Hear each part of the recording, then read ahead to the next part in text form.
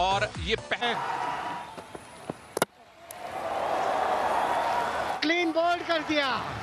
क्या बढ़िया वापसी यहाँ पर भुवनेश्वर कुमार की। एक और विकेट खोया यहाँ। कानपुर ने समीर रिजवी 41 रन बना के आउट हुए 128 पे पास